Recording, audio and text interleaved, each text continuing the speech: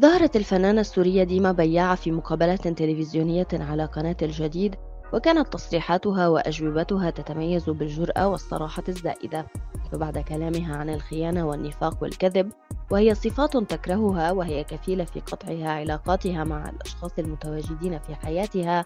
أكدت بياعة بشكل غير مباشر أنها تعرضت للخيانة الزوجية والخيانة من قبل أصدقائها. وعند سؤالها عما يميز زوجها أحمد الحلو حتى تمكنت من تخطي الخيانة والوثوق مجددا برجل قالت بياعة أن أحمد رجل حنون وطيب وهو شهم ورجل بمعنى الكلمة إذ أنه ظهر في مواقف كثيرة اكتشفت من خلالها أنه سند حقيقي ولا يمكن أن يخون.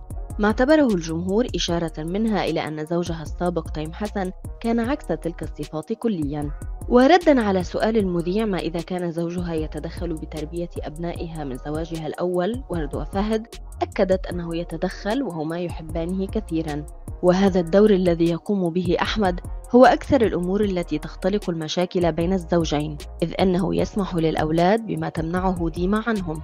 وأضافت أن أحمد لديه صلاحيات كثيرة في تربية أولادها وله كلمة نافذة عليهما لأنه ساعدها كثيرا في مسائل التربية وهو يحبهما كثيرا. وعن رأي تيم حسن بهذا قالت بياعة أن بين تيم وأحمد علاقة احترام متبادلة ولا اعتراض من قبل تيم على هذه المسألة. هو زوج أمهما وعاش ما يزيد عن ثمان سنوات معهما وجلس معهما في كثير من الأحيان أكثر منها ومن الطبيعي أن تكون كلمته نافذة عليهما. يذكر أن ديما سافرت إلى دبي بعد الأزمة السورية وبعد زواجها بقيت هناك وكان لديها مؤخرا بعض الأعمال كصباير ستة الذي عرض في رمضان 2023 وشتي بيروت مع عابد فهد وبرنامج مصنف على أنه من تلفزيون واقع يسلط الضوء على وضع اللاجئين السوريين في السويد.